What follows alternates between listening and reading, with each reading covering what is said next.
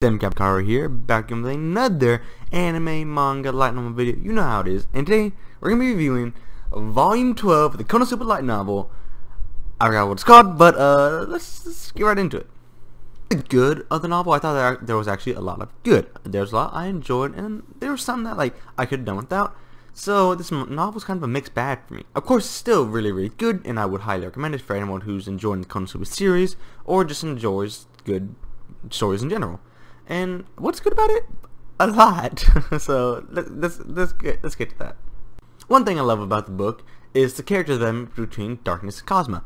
I feel like they have one of the best character moments in the series with Kazuma and Darkness being chained together, and I think that's really phenomenal.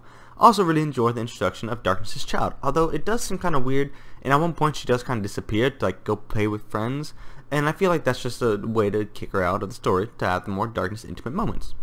Also like the, in the integration of Chris. I feel like Chris is a very well designed character and I do like it when she comes into the story. She's one of my more favorable characters when she's written well. Sometimes she isn't written the best, but here I do like it. Also like Aqua and how oblivious she is to most things, and I do like how it clearly shows that Megumin and Kazuma's relationship is very clearly developing. And I do enjoy that, as everyone suddenly feels like, yeah, they're basically dating, let's kind of back up, except Darkness, which I think is actually a good comedy source.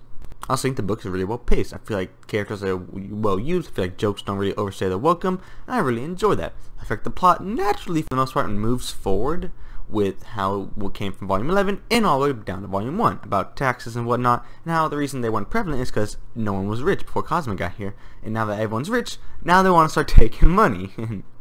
That's pretty stereotypical for like governments, you know, they don't want to take money from the poor, but the rich people. At least that's how it seems in this world. So I feel like that's actually very, very reasonable. And I do like that plot point, as it does give us the Darkness Kazuma moment. Although it does somewhat feel forced on how Kazuma has to get arrested to avoid taxes, because he is just oh so rich. I also like Darkness's resolve. I feel like her character is really, really fleshed out here, and shows like how, yeah, she's perverted, she's a masochist, she's all this, but deep down, she is a great person who just wants to protect others. And she shows that when she's talking to Kazuma. And of course, Kazuma calls her stupid because she's just trying to sacrifice herself.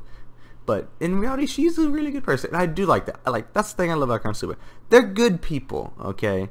Even if on the outside they're a-holes, they're good people. And I really, really enjoy that. It it, it, it kind of it, it brings a tear to my face to see how these characters have developed. Now for the bad, um, there's some. Some of the jokes honestly don't land, such as Aqua being traumatized by fireballs, considering that she's water incarnate, basically, so like, that doesn't make sense. I don't like the second half of the book nearly as much as I like the first half, as it really slows down for like a kind of forced plot of, of Darkness's cousin being sick, and they have to go to this devil lord and all this crap. I feel like it's really random, and I feel like the book could have done without it, so I don't enjoy that too much, but it's still very enjoyable.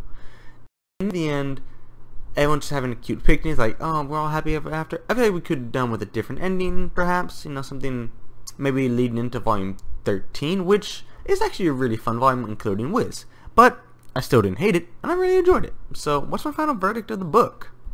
Overall, I loved it. I thought it was very comical. I thought the character that we got for Darkness was some of the best in the series, and Aqua is as comical as ever. I feel like Megumin and Kazuma are slowly developing, and I really do enjoy that. It's it's a slow but steady develop, and I think it's natural. While that second half of the book may have disappointed me, it did have really fun moments with people such as Chris or Vanir, and I really did enjoy it. Overall, I give the book an 8.5 out of 10. On the lower end, the novels actually, because I originally came into this thinking this book was beautiful, and it was. It brought tears to my eyes. They didn't come out though, not till volume, not till volume 15. But overall, I thought it was great. 8.5 out of 10. I'd say it's on par with volumes 3 and 4, and I'd highly recommend it. It's a little bit worse than Volume 11, but still phenomenal. Anyway, what do y'all think of the video? Do y'all like it? Do y'all agree with me on Volume 12? Or do y'all hate it and want to leave a dislike? Because I'll be happy to see those. Anyway, hope you guys enjoyed. Don't forget to like, comment, subscribe. I'll see you in the next one. Peace. Also, because like coronavirus canceling everything, I'm probably going to have some streams on Twitch uh, for games because like I don't got school. Thanks, coronavirus. Uh, I mean, it sucks, but I got nothing to do, so I might as well stream, you know.